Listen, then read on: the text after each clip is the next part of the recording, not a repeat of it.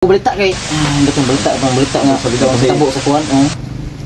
Oh. Oy, may gala ka natin mga updates sa tong bagyo. Ako din si Kuano, si Ipo Primes karang may tabo karong bagyo biti na kuha mo rin sa Oh. natin represyo area mari sa kuan mari sa sa sa Pilipinas kanang pagkuhan mo diha kanang grabe ang bagyo karon din sa likway sa Pilipinas ang bagyo ang bagyo man padung sa Pilipinas no? ni Reporter man eh. Oh, day ang kuan ha pag pagkakampong mo diha amping mo diha sa mga pita Pilipinas dayon kamo diha kaday mo abot na ibibigay ng bigas on sako na luto na daan na bigas on sako luto na daan mga grocery mga madilata mga kuan. mga mga mga grocery ha pag kuan mo diha piti pagalamya mga grocery diha. Balitaan ni nga. Ang kuan ni Siguro magbutbut.